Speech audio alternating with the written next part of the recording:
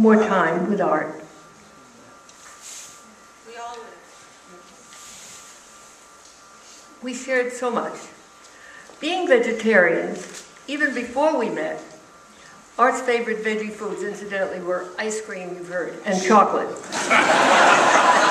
it wasn't that he loved vegetables that made him a vegetarian. He didn't love vegetables, but he would not kill, he literally would not kill a fly. He would pick up an insect under a glass and a piece of cardboard in the house. And he'd call out to me, open the door, so he could release whatever it happened to be. And in the winter when it snowed, he would not allow us to even use the have-a-heart traps for the mice, of which we had our share. Because we would have, we have to let them out into the cold and the snow. His, non, his nonviolence was intrinsic and honest and authentic. He could not watch a film involving violence and war, and even nature films where animals were killing for survival. He would walk out of the room.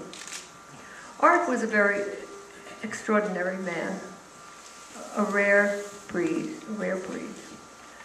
But this kind of this kind of gentle spirit, yes, a rare bird in these times of rampant mean-spiritedness and greediness, but still he was feisty, ready for a charged discussion and no nonsense about phoniness in people. Art was self-effacing, humble, didn't like attention focused on himself, except when he chose to tell some part of his story to someone he knew was listening and interested. Even his small talk had an honesty, a straightforwardness, and an integrity that everyone felt, from small children to older people, and especially people in some kind of trouble or in some way dis disabled. Art had the most generous heart with a consistency and immediacy that is very rare. It came naturally from his father, Leo Kamell, who was his role model. Art was proud to tell his father's story. Leo, Leo, his father, was a teenager born in Trieste who boarded a ship and landed in New York and from a pushcart made a successful fruit and vegetable business in Yonkers.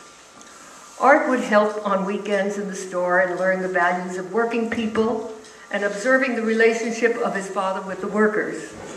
Lessons Art learned well. And Leo's generosity with family members who needed help, he gave naturally and generously. Art learned so very well.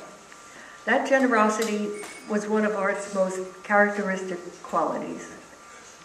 His father would bring home a special piece of fruit in the early hours and leave it for Art. And he couldn't spell Arthur, so he would leave a note.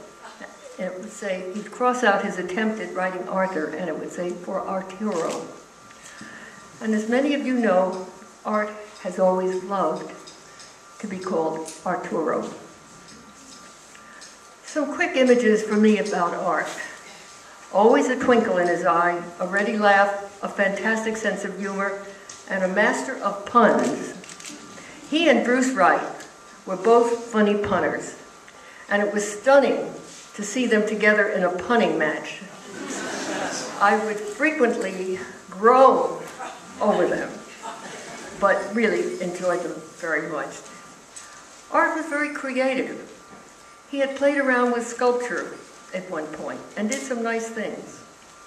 I always depended on his graphic sense and his editing skills doing a flyer or a speech he was a terrific editor and good writer, and such, such help whatever I was working on, whether it was at WESPAC or later in these last 13 years at the, um, at the Connie Hogarth, Hogarth Center for Social Action at Manhattanville College. The students, as you saw earlier, the students loved him so much. And a number of them who are here today are, are graduates some years, over a period of years and still obviously remember and love him, and that's why they were here. Also, after he retired from his law reprints business, producing Supreme Court briefs, he did some fine political videos, some involving the Plowshares Eight, and that's when he got to know Father Dan Berrigan. Incidentally, Art never really liked lawyering. I know some other lawyers in this room who are not crazy about it. Um, except for the time he worked for the unions, especially the Bagel Bakers Union. And it was finally so creative and courageous of him to see, to leave lawyering and to see the need for Supreme Court briefs most, more easily available for lawyers and for libraries, and then started his business, which turned out, fortunately, to be successful, in a loft on West 20th Street, working mostly alone, producing these briefs and going to Washington and getting them. And he loved that too, travel to Washington. And he loved taking the packages when the orders came in from the library, taking the packages to the post office himself. It's part of the hands-on quality of this man. He was always ready for new challenges. As an adult, studied the oboe for a while. I did in high school, which is another common thread. Studied the djembe with the great Babatunde Olatunji, who then chose a djembe for art, which he has been so proud of. And at all our musical gatherings at home, Art had such a wonderful time with his djembe and conga drums. And um, you heard Kazi Oliver, he played with Kazi. And, um, he even started lessons, as you heard from Chris Rue, to learn to play on the